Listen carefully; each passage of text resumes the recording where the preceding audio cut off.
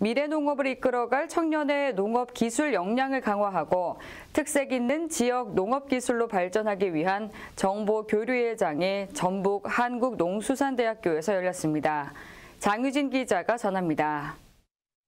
전라북도 농업기술원은 미래농업을 이끌어갈 청년 4H회원의 농업기술 역량을 높이고 창의적이고 특색 있는 지역별 농업기술 교류를 위해 7월 14일부터 15일까지 한국농수산대학교에서 전라북도 4H회원 및 관계자 200여 명이 참여한 가운데 제46회 전라북도 4H 경진대회를 개최했습니다.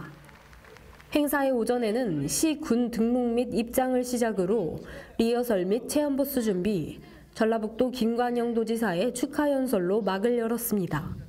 이번 대회는 4H 회원들이 농업 현장에서 4H 이념 실천을 바탕으로 모범적으로 활동해온 성과 경진과 농특산물 전시, 그린 아이디어 경진 등 다양한 프로그램을 통해 상호 정보 교류와 미래 농업을 준비하는 장이 되었습니다. 전라북도는 4H 경진대회를 통해 농업, 환경, 생명의 가치를 창출하여 농촌에 대한 애향심을 갖게 하고 미래 지도자로 성장할 수 있는 계기가 마련되기를 기대하고 있습니다. 복지TV 전북방송 장유진입니다.